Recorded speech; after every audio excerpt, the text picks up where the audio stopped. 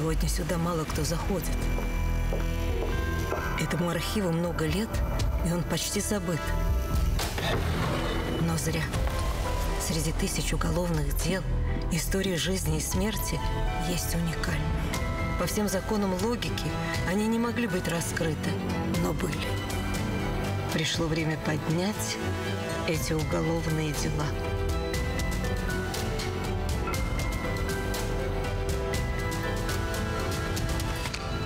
Это для вас особый случай.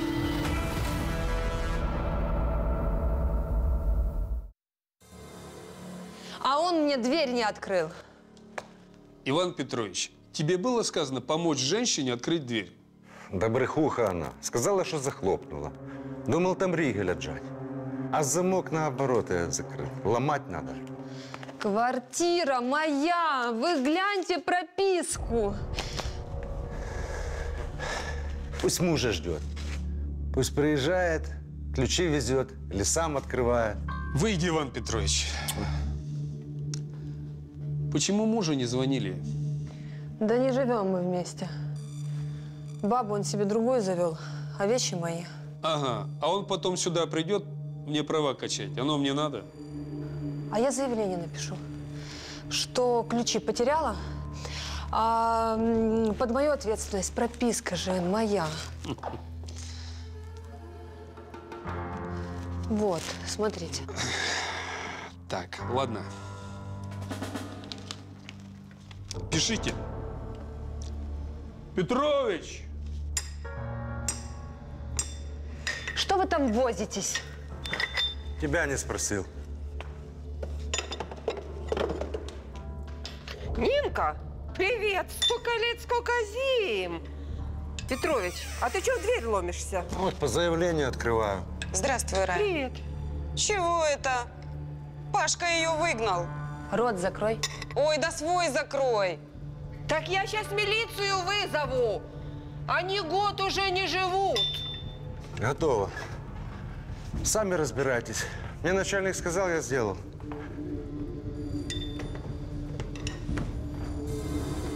Ну что, девочки, вызывайте милицию. Не, ну ты видела? Да стерва.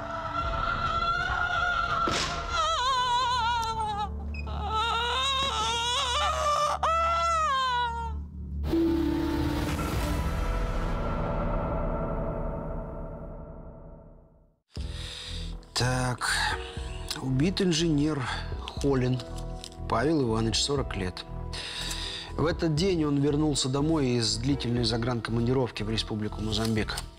Да. Тогда такая командировка меняла жизнь. Только не в этом случае. Интересно, вот сколько людей, да, и куда их только не заносило, в какие страны. Все всегда хотят заработать. Ну, не скажите. Людей привлекает экзотика. Другая страна – это другая жизнь, ведь едут не только за деньгами. Думаете, Холин так красиво рассуждал? Возможно, он слышал о жизни художника Гугена, который уехал на Таити. А Рерих искал вдохновение на Тибете. Ой, ну а Холин тут при чем? Он не Рерих, не Хемингуэй и даже не Сикорский. Это правда. Может, он и не знал, для чего поехал. Соседи должны были что-то слышать. Опрашиваем соседей. Эдуард Сергеевич, а что у вас? Можете сказать время смерти? Приблизительно. Примерно 10 часов тому назад. А характер ранения? Ножом ударили в область сердца. Видимо, умер мгновенно. В затылочной части гематома. Под ногтями эпидермис. Лицо расцарапано. То есть, скорее всего, он дрался, а потом его оглушили и зарезали. Похоже. Но подробности после вскрытия. Увозите тело на экспертизу. Хорошо. Алла Андреевна, Что у тебя? ножи, немалое количество. Раз, два, три, четыре, пять. Еще один в спине. А ему их посылкой прислали? Скорее всего, из Африки, потому что ножи африканские. Интересно. Холодное оружие народов Африки отличается большим разнообразием. Обилие хищников в природе и враждебность соседних племен породили особое отношение к ножу. Искусство метать нож и умение применить его в рукопашной схватке прививается с детства. Нож отражает доблесть хозяина. Европейцы научили африканцев выплавлять прочный металл, и довольно скоро нож превратился в статью дохода местных ремесленников. Ножи с рукоятками из слоновой кости и рога буйвола, украшенные тонкой резьбой, стали востребованным сувениром в Европе и Америке. А кофе зачем собираете? А вдруг ему что-то подсыпали? Алла Андреевна, смотрите.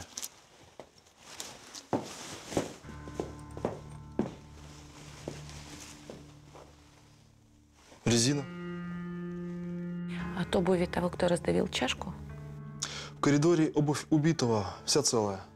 А вот замок я обязательно возьму на экспертизу. Вдруг кто-то лазил другими ключами, либо отмычкой. Ясно. Работайте. А ты позови жену убитого.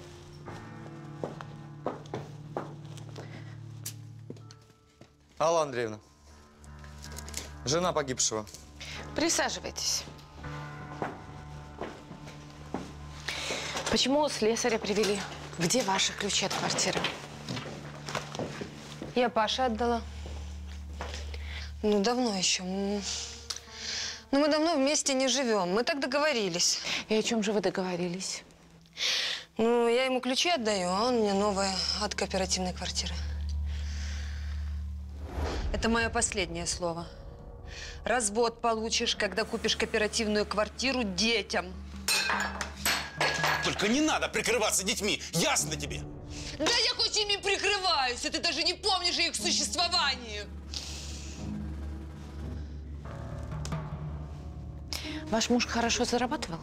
Ну, ну, здесь зарплата инженера, плюс э, ну, за Мозамбик он в рублях получал. И чеки внешпосыл торга. Где деньги хранил? Когда в Африке был у матери, а так я не знаю. Вы не можете не знать. В квартире будет обыск. Квартиру мы опечатаем. Вы прямая наследница. Или вам есть что скрывать? Да мне нечего скрывать. Здесь они.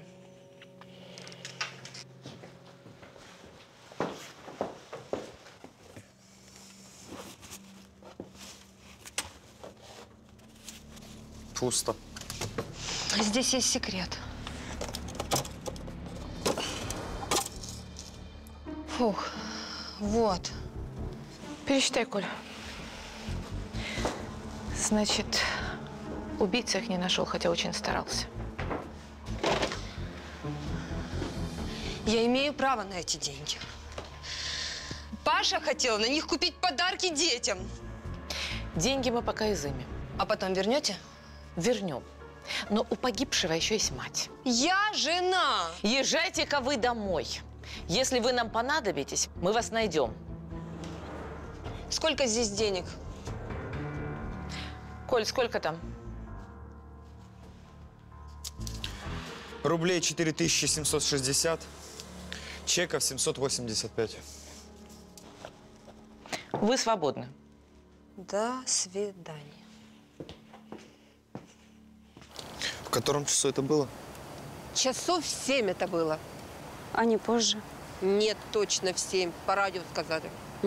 Хорошо, а с кем гражданин Холин входил в подъезд? С бугаем, здоровым таким. Э, Он в шапочке был, такой, как спортсмены носят. Э, Сказать, что ругались, не скажу. Только когда Бугай этот Пашину руку отшвырнул, Паше это не понравилось. Ну и что ты хотел? Слушай, ну давай по-хорошему. Ну мы же взрослые люди, а? Руку убери.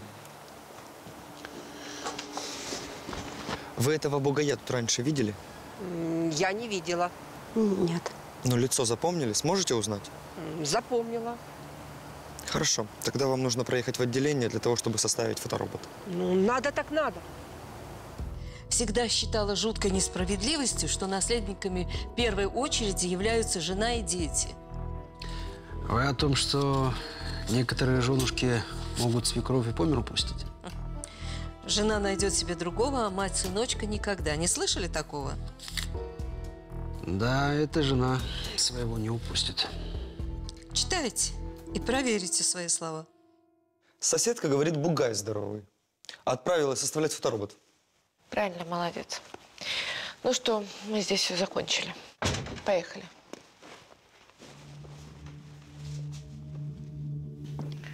Как же это?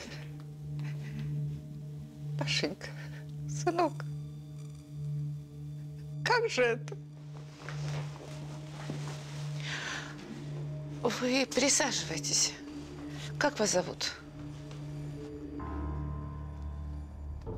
Мария Сергеевна. Возьмите. Мария Сергеевна, а кто вам сказал о гибели сына? Девчата позвонили, соседки.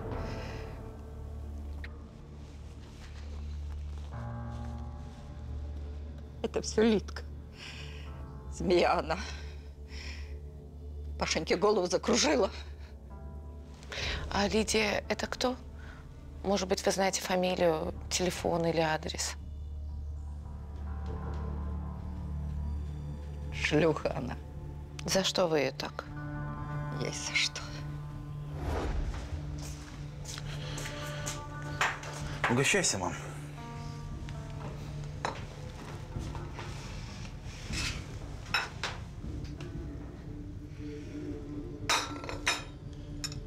Спасибо, сыночек. Угостил маму. Мам, ну, До свидания. мам, мам, ну, я прошу тебя, сядь, пожалуйста. Мам, Не надо. Не провожай.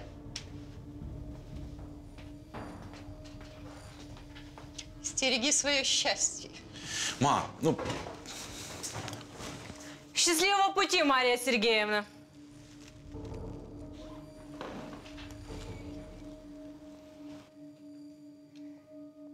Я видела недавно Литку эту в обнимочку с ее хахалем.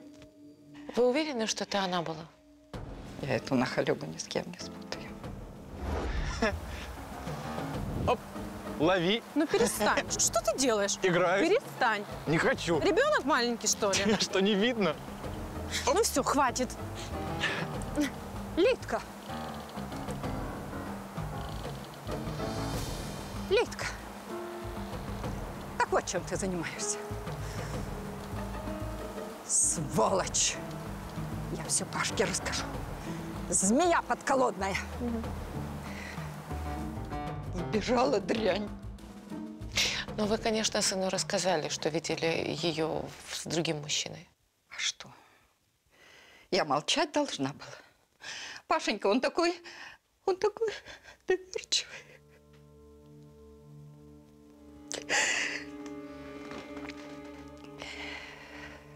Он из аэропорта приехал, я ему все сказала. И в обнимку шли. мам, ну, может, обозналась? Ага, хотелось бы. Да только эта Литка твоя была. Ты вот в твоей Африке заколачиваешь деньги, а она тут гульки-шмульки устроила. Мам, ну, Что, мама? Что, мама? Вертихвостка она! мам, может, я сам разберусь, а?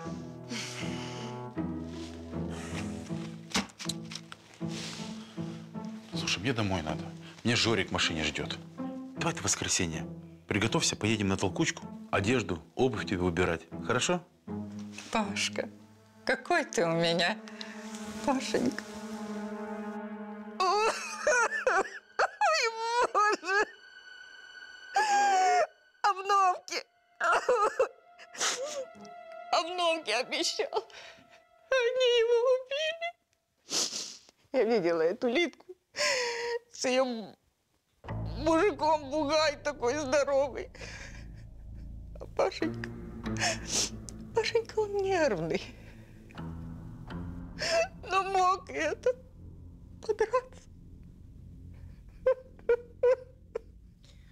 А где ваш сын записывал адреса и телефоны? Записная книжка была такая красненькая. Не находили ничего. Где он ее хранил? Да на столе было. Там писал все, а а с собой носил маленькую книжечку в кармане. Вы о деньгах говорили. Деньги? Ну да. У меня хранились. Приехал. А сколько денег было?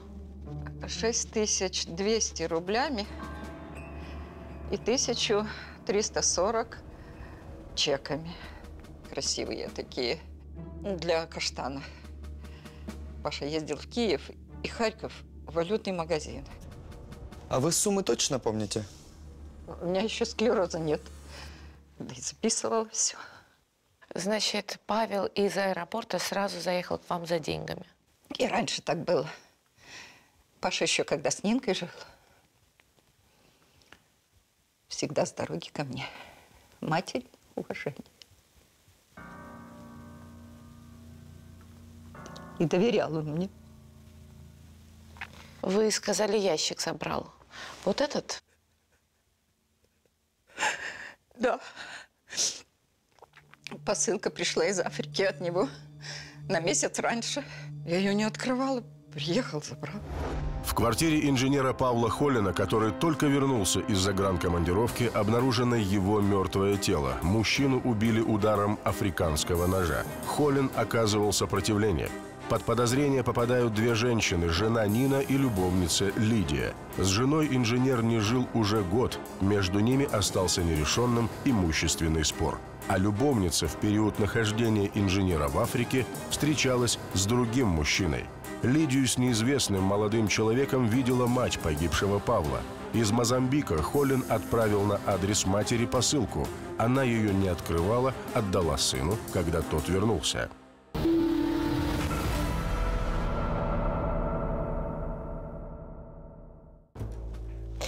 А у вас что-то оставил? Конфеты оставил. Вещи. Ну там постирать, заштопать. Вещи мы посмотрим. Кто его в машине ждал? Жора, одноклассник. Они друзья. И раньше забирал. Жоре позвоню. Он как плакать будет. Не надо. Вы лучше дайте телефон, мы сами позвоним. Диктуйте. Ну какой диктуйте, ну какой диктуйте? Вы Литку эту ищите, Литку, ее мордоворота. Мы найдем Литку. И этого мордоворота тоже найдем. Заметили какие-то странности? Да. Давайте все по порядку. Взрослый мужик, есть квартира. Но из аэропорта сразу едет к маме. Ну, женой не живет. Почему бы к матери не заехать? А жена говорит, что даже когда они вместе жили, деньги он хранил у матери и всегда из аэропорта заезжал первым делом к ней. Ну ладно, допустим, хорошо. Странно. А еще? Посылка. Мать посылку не открывала. Значит, получается, что отправлял он ее сам себе. Верно. Вот. И что? Что такое он отправлял себе, с чем приехать не мог. Отличный ход мысли. Браво, Артем. Два дня назад, буквально в это же время, ты Пашу встретил. Пашка, Пашка, ну как же так, а? Мать Павла говорила, что вы почти каждый раз его встречаете. Да, у меня машина. Мы дружили, и вот. А в тот день что-то особенного вы не заметили? Нет, нет, вроде нет. Паша, Паша! Я смотрю, ты навьюченный. Слона привез? Африку ограбил. Тоже хорошо. Ну что, домой или к тете как обычно? К матери сначала. Хорошо. Сели и поехали. А говорили о чем? Про Африку. Паша после отпуска хотел опять туда поехать. Ну, естественное желание. Да. Там очереди три километра. А, Правда, Паше начальник обещал помочь. Но начальник тот, та еще скотина, вел себя как барин. Вы с ним знакомы? Нет, на черта он мне нужен. Я не такой, как Паша. А Сан Саныч вел себя так, вот как на поморде напрашивался. Там у тебя подарок дожидается. Сан Саныч, ну что, я месяц-другой отдохну и снова в Африку готов. Тебе что, одного раза не хватило? Ну, уж знаете, много не бывает. Ну, подумаем, подумаем. Давай документацию. Ну, я надеюсь, вы правильное решение примете. Да-да. Как ты его терпишь? Да бог с ним. Пошли, пошли. Сан Саныч, говорите. Да, Сан Саныч. А скажите, Паша вам привез какой-то подарок из Африки? Да, сейчас, секундочку, я покажу.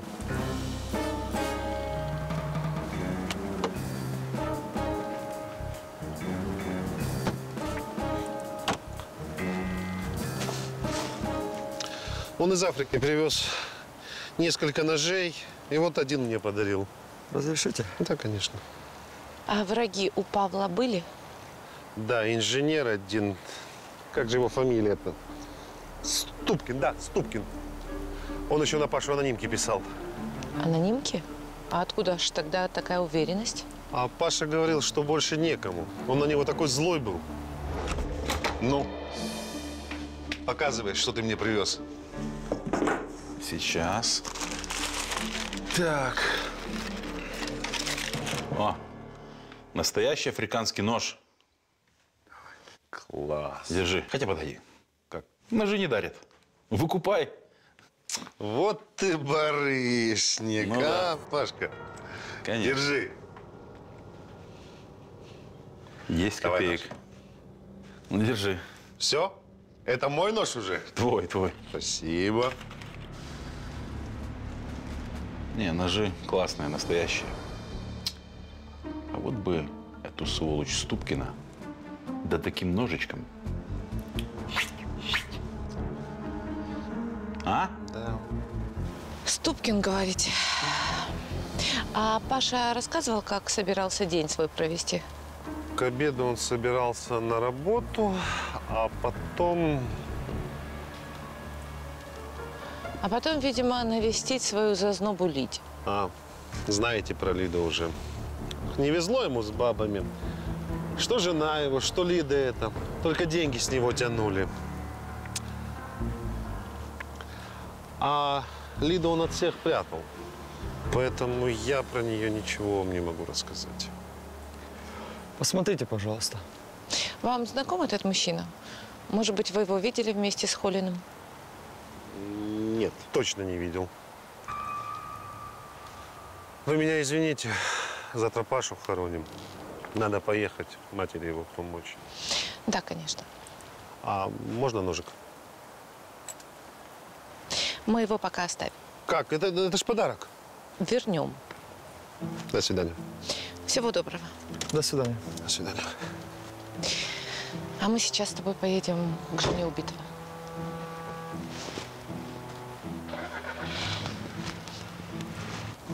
Вон идет.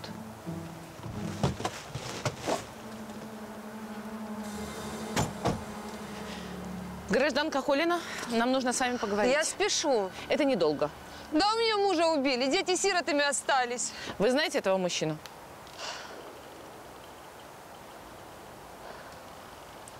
Никогда раньше не видела.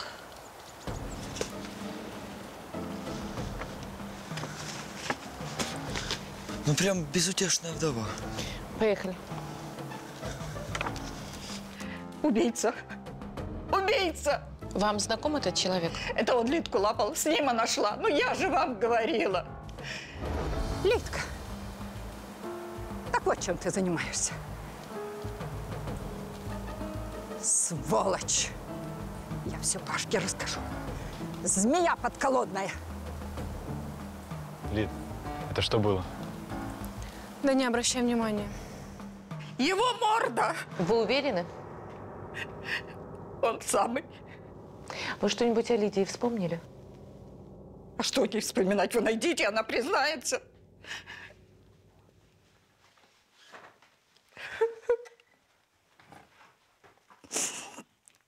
Завтра Пашеньку хороню. Сыночек. Итак, с посылкой проясняется. В ней были африканские ножи, одним из которых и убили Холина. То есть, не принеси он посылку домой, его нечем было бы убивать? Был бы мотив, а орудие уж найдется. Вот, мотив. У вас уже есть предположение по мотиву? Лидия. Возможно, измена, другой мужчина. Хотя, что мешает просто прекратить связь? А жена?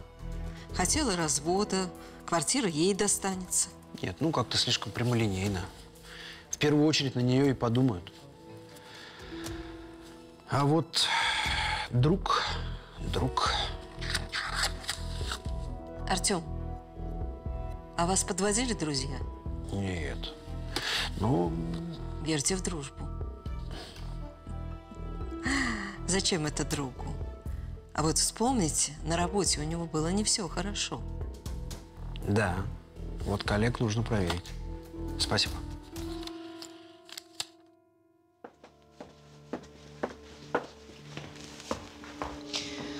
Здравствуйте. Следователь Лыкова. Годовик Николай Иванович, начальник отдела. Товарищи, у меня нет времени. Сейчас подойдет инженер Павленко. Он работал с Пашей в Мозамбике. Ну, пока он придет, мы с вами поговорим. Инженер Ступкин. Есть такой? Да, но он в больнице. А что с ним? Упал на даче, сломал ногу. Когда? Вчера утром позвонил из больницы. А позавчера он был на работе? Не был. Он в отпуске и живет на даче. Товарищи, у меня работа. Извините, но мы тоже работаем. Вот Павленко и, пожалуйста, с ним. Степан Степанович, товарищи из органов. До свидания. Добрый день. Следователь прокуратуры Лыкова. Вы были с покойным Холиным в командировке. Да, второй раз в Мозамбик ездили. Нас интересует его знакомая по имени Лидия. Может быть, он вам что-нибудь о ней рассказывал? В чужой стране бывают разные беседы. Э, Павел не очень откровенничал, но про Лидию я знал. Звонил ей несколько раз. А номера телефона у вас ее нету? Нет, да и зачем мне? А вы кому-то звонили из Мозамбика? Жене, маме, у нее как раз день рождения был. Вы заказывали переговоры вместе с Холиным? Да, и ездили вместе на почту их. Прекрасно. А случайно даты переговоров вы не запомнили? Ну, конечно. У мамы день рождения 13 апреля. Вот мы и звонили. Ясно. Спасибо вам большое. Пожалуйста, всего хорошего. Всего доброго. Ну, это хотя бы что-то.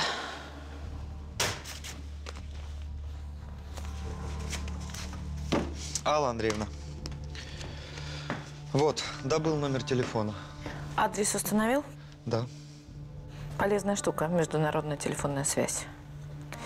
Так, Осколкова Лидия Константиновна, улица Передовая, дом 23, квартира 2. Говорила с Мозамбиком 13 апреля и в другие дни тоже. Это она. Завтра в 12 хоронят Холина. Может быть, и она там будет. Ты утречком поезжай к ее дому, поговори с бабушками.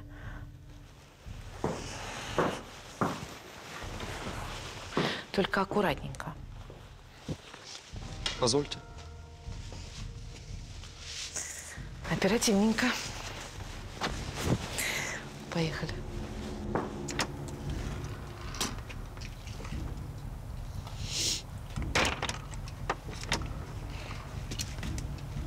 А ну-ка, встал тут.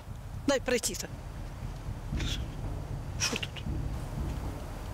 О, Петровна, я как раз к тебе собиралась. Че это он тут?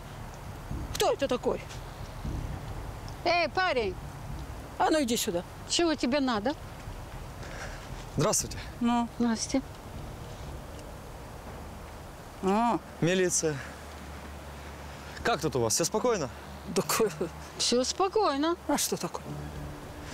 Зафиксированный случай. Случай какой? Мужчина, молодой, втирается в доверие к пенсионерам. Представляется, как будто из обеза.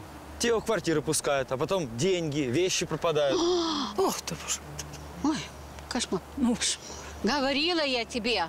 Цыганки это все. Какие цыганки? Вечно ты все путаешь. Э, товарищ милиционер ведь тебе про мужчину говорит. Не, ну к нам доверия никто не, не пускался. Понятно. Посмотрите, пожалуйста. Вот, потерпевшие описали. Преступник выглядит вот так. А, ну-ка, дай, дай, дай. Так это ж Литкин, последний. Да узнала я его, он этот. Угу. А Литка это кто? Муж ее. О, да, муж ее два месяца она с ним только жила. Э, Да, это и сто лет назад было. Ну, а сейчас все приходящее. Да в подъезде вон она в нашем живет. Разбеденка. Вот. А этот к ней постоянно ходит. Да узнали мы его, он этот. Конечно. Да, к нам он в доверие не втирается. Да не. Только к ней. Да. Понятно. А может, знаете, где работает? Знаю, знаю. Он работает тренером в бассейне. Вот он рядом, бассейн. Я туда внука вожу на тренировки. Так что вижу его. Он. Понятно. Но тренер это вряд ли. Есть информация, что преступник плавать не умеет. Угу.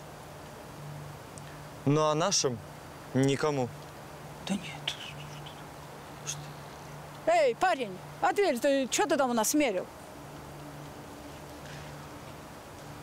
Проверял. Что? Преступник орудует в подъездах, где на дверях нет пружины.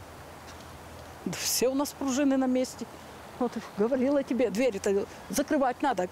А пружина у нас на месте. Дверь открытая У нас пружины есть. Вон он идет. Не идет, а плывет. Кролем. Я так и думала, что Осколкова не будет на похоронах. Ну, правильно. А что спокойненько-то взять? И замену себе нашла. Молодой, красивый. Пазун? Игорь Николаевич? А не твое свинячье дело.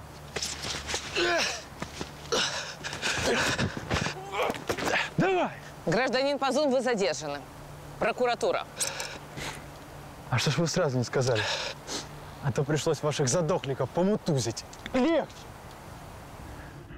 Руки все вашей краской испачкали. Отмоешь. Нож, который у тебя дома изъяли. Откуда? Африканцы подарили на соревнованиях. А чеки внешпосылторга откуда? Знакомые ребята-пловцы продали. С гражданином Холиным знакомы? Слыхал о таком. От кого? Знакомая есть, рассказала. Лично с ним виделись? Да, он к Литке завалился. А она ему все, у меня теперь Игорь. Сказала, где я работаю. Продолжайте. Ну, так он ко мне на работу и приперся. У меня же тренировки. Договорились потом. Он попросил, давай ко мне домой пойдем поговорим. А как пришли, он начал рассказывать про свои отношения с Литкой. Туману напускать. И что говорил? Ну, что любит ее. А я, мол, молодой, здоровый. Но я ему и сказал, говори прямо. Оставь Лиду в покое. Разогнался. Не, ну я не просто так. Я тебе дам тысячу рублей и 200 чеками. Ты сможешь в магазин поехать, в Киев, там, в Каштан, батник, там, туфли, да все, что захочешь. Мне надо подумать. Да что ты думать? Что думать, ну? Такие модные вещи. Ну ты молодой, красивый парень. Да у тебя и так отбоя девок нет. Все твои будут. Идет. Но только ты слово даешь, что пропадаешь из ее жизни навсегда. Слово даю.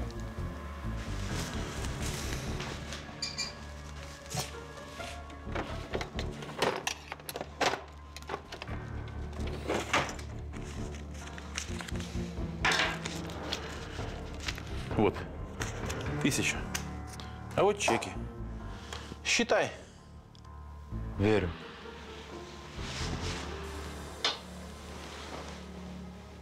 И вот это мне тоже отдашь. Память. Зарезать кого ты хочешь? Не меня? Что вы на меня так смотрите? Не трогал я его. Вы пришли к Холину, согласно показаниям свидетелей, в начале восьмого. Когда вы ушли? Минут через 20. А где вы были в районе полуночи?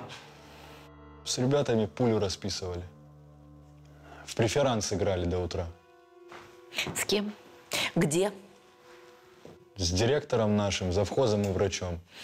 Диктуйте пофамильно. Так, показания завхоза, директора и врача. Преферанс. Алиби. Я так и думал, не в амурных делах тут вопрос. Для вас понятен психологический портрет жертвы?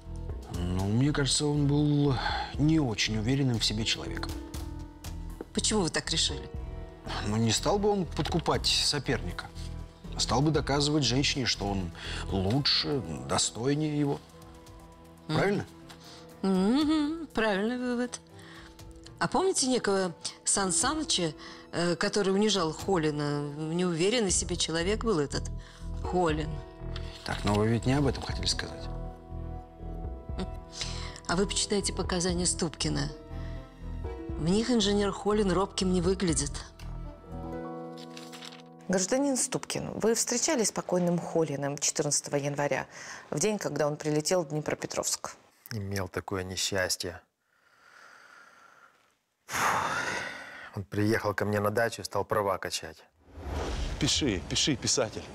Только хрен ты куда поедешь, понял? А я поеду. Что, будешь и дальше своему Сан Санычу хвост подлизывать, да? Пусть закрой, ты ублюдок! Пусти, холмуй! Да пошел ты!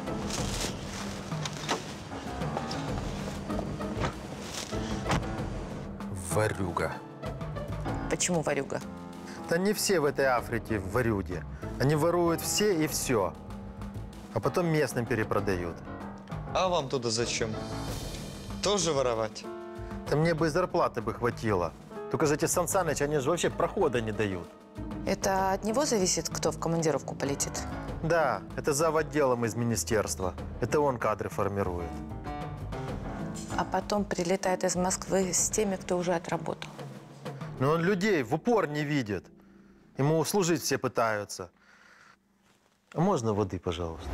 В квартире инженера Павла Холина, который только вернулся из загранкомандировки, обнаружено его мертвое тело. Мужчину убили ударом африканского ножа. Находясь в Мозамбике, инженер отправил для себя в Союз посылку, в которой были африканские ножи на адрес матери. В доме убитого сыщики обнаружили деньги и чеки внешпосылторга. Один из коллег убитого рассказал, Холлин, как и многие другие, командированные в Мозамбик, продавал местным производственное имущество и продукты питания, старался привезти домой побольше дефицитных товаров.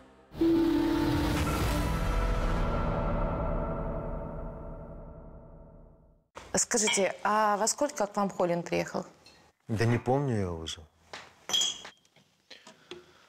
А вы уж постарайтесь вспомнить.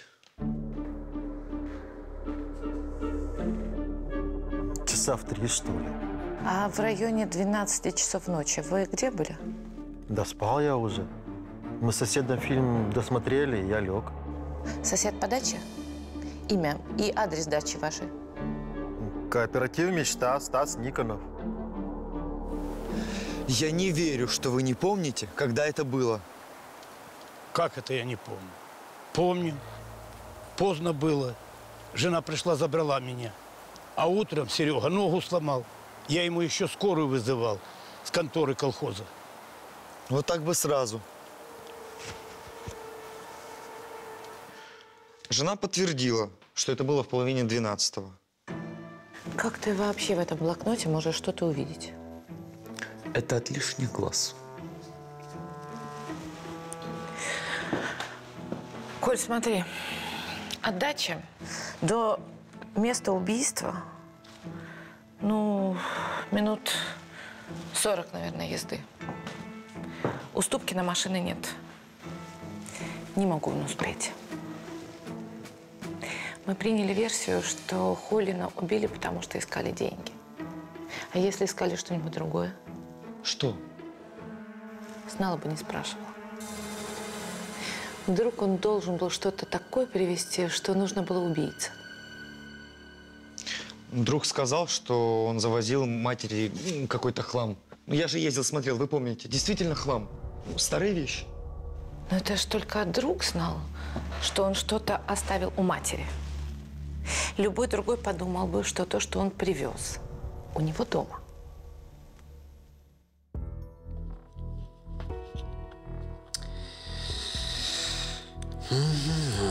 Ну вот мне кажется, что следователь тут идет по ложному пути.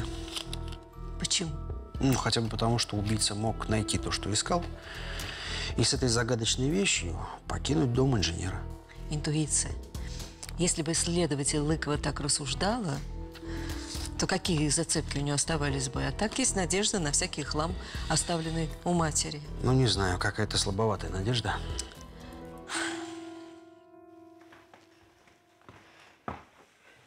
А я уж сама хотела за вами идти. Зачем? Нинка сдурела. Жена Пашина. Замки поменяла, меня в дом не пускает. Имеет право. Она же в квартире прописана и с Павлом не разведена. Ну так я же сама так хотела. По-хорошему. Пришла к ней вчера. Она сначала тоже по-хорошему чаем меня напоила, а потом выставила. Спасибо. Угостила. А теперь попрекать? Я о ваших внуках забочусь, а не у моих родителей. Я тоже бабушка.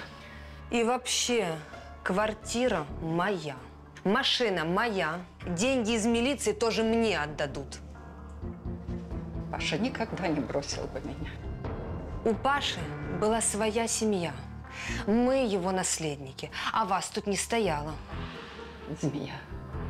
Какая ж ты змея подколодная. Да ну и пусть змея. А вы ни копейки не получите.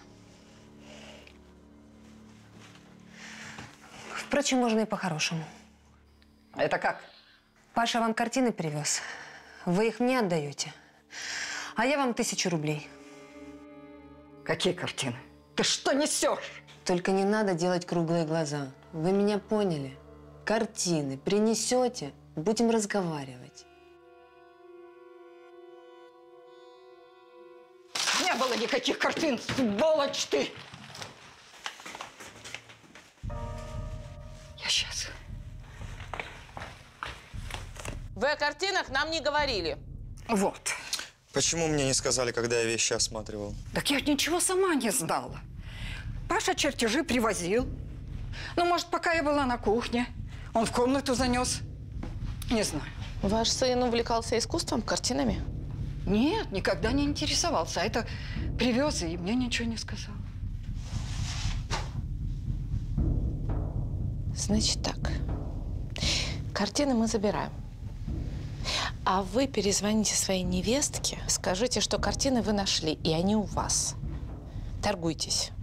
Посмотрим, какую цену она за них даст. Художник Третчиков. Слыхали? Никогда. Занятная личность. В 1961 году в Лондоне прошла художественная выставка, которая установила рекорд посещаемости – 205 тысяч человек. Художником, чьи картины выставлялись на выставке, был выходец из России Владимир Третчиков. В 70-х, 80-х годах 20 века он был одним из самых кассовых художников мира. Его картины уступали по цене только работам Пабло Пикассо. Владимир Третчиков прожил бурную жизнь. Сидел в тюрьме, чудом спасся с затонувшего корабля. Его путь к славе был долгим, но художник добился признания. Для жителей Канады, Австралии, Новой Зеландии, Британии, Южной Африки он жил в этой стране. Репродукции картин Третчикова, которого на Западе стали звать Третчи, стали обязательной деталью интерьера, а оригиналы его работ продавались за миллионы. Слава пришла далеко от родины. Вот почему вы вспомнили о художниках. Получается, не только всякий хлам привез Павел Холин из Африки. Задали задачку, но я ее решил. Фамилия художника Третчиков. Как? Третчиков. Русский, живет в Африке. Значит, Африка. Стоит картина его дорого. Копий туча по всему миру. А это... Это оригиналы.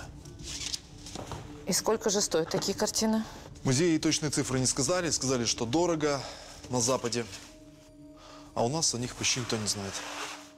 А зачем же Холин сюда их привез? Молодец, Пал Палыч. Да ладно. За такие картины и убить могли.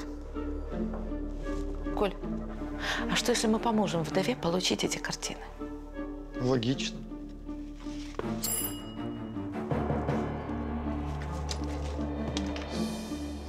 Здравствуйте. А где картины? Мы же с вами договаривались. Аж тебе. Ничего ты не получишь, я это тебе в глаза говорю. А тогда и вы ничего не получите, понятно? Ну и не надо. Спалю картины к чертовой матери, а тебе не отдам. Ой, что плохо мне. Маня, Маня, что? Пойдем ко мне. Сердце. Скорую вызову. В больницу тебе надо, Маня. Бесстыдница! Она сына только похоронила. Артистка. А ты ее хочешь в могилу свести? Да по вам, по всем могила плачет. Змея.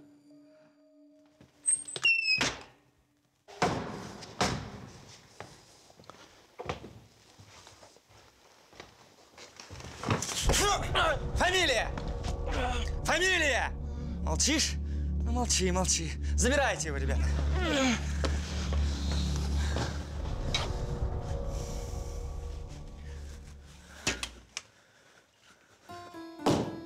Ну вот и все, гражданин Галенко. Отпечатки ваши в квартире есть. Эпидермис под ногтями убитого Холина тоже ваш. А это экспертиза фрагмента подошвы от ваших ботинок. Для суда это более чем достаточно. Я все расскажу. Это все мерзавец Холин, он меня обокрал. И что же он у вас украл? Картины. Когда мы были в командировке в Мозамбике, местный мне предложил набор ножей. И предложил купить картины.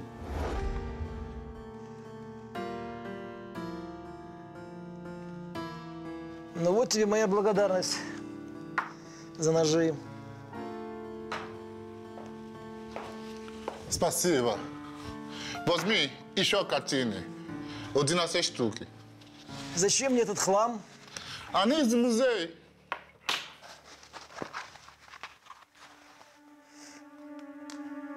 Из Лувра? Не, он сказал по-другому. Я забыл. Возьми картин. Ну ладно, дам еще две банки тушенки. Ну это все.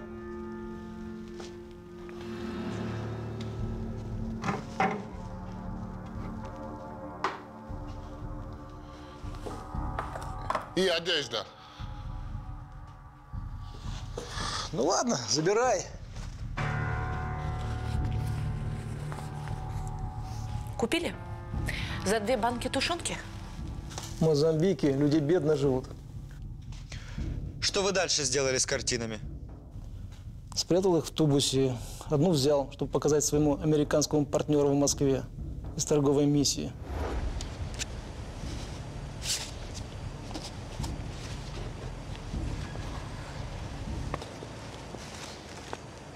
Мазня. Но я, я дам тебе за нее 100 долларов. Оставь себе 100 долларов, эту мазню в подарок. Я на остальные 10 картин найду лучшего покупателя. У тебя есть еще 10 картин третьей? Yes! Ну ты же сказал, что это мазня. Он согласился дать настоящие деньги. Настоящие это какие? 2550 долларов за штуку. И поставил условие, что картины я передам ему в Москве.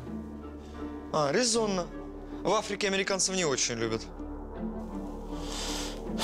Да, тут я вспомнил о Холине. Он давно просил, чтобы я отправил его в Мозамбик. Чуть ли не на коленях стоял. Деньги мне предлагал. И что он должен был сделать? Привезти картины в багаже. Но в Москве багаж перегрузили. Я не смог их забрать. Поэтому появился у него вечером дома. Ты что сделал, скотина? Засунул в тубус копии. Где мои картины, а? В надежном месте твои картины. Понял? Но ты их получишь только после того, как у меня будет командировка в Мозамбик на три года.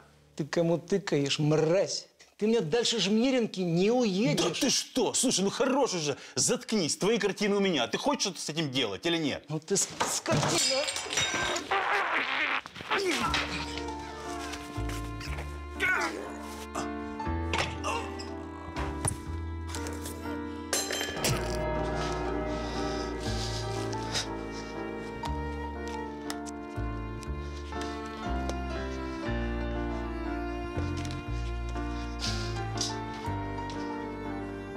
Забрал его записные книжки, где были мои телефоны и адрес. Он жаловался, жена у него жадная. Вот я после похорон и пришел к ней, дал 100 рублей. Обыскали все, обшарили даже в гараже, ничего не нашли. И тогда вспомнили о матери. Это не я, это Нина. Я ей пообещал 3000. Мария Ивановна Холина уже дома. Замок ей поставили новый. Уводите. Подождите, я вез в страну произведения искусства. Они дорого стоят. Я готов картины передать государству. Надеетесь срок скостить? Уводите. Вот так вот, Коль. Жена – это жена, а мать – это мать. Алла Андреевна, а вы кто больше, жена или мать? Ну и вопросы у тебя. О, вот он, приговор суда. 12 лет лишения свободы. А картины? Когда-нибудь я дам вам другое дело. Картины художника Третчикова стали собственностью государства и были переданы музею. Но в начале 2000-х годов они пропали из запасников. Они не выставлялись? Он не выставлялся. Считалось, что это какое-то не наше искусство, чуждое. Третчиков же нашел свое призвание на чужбине.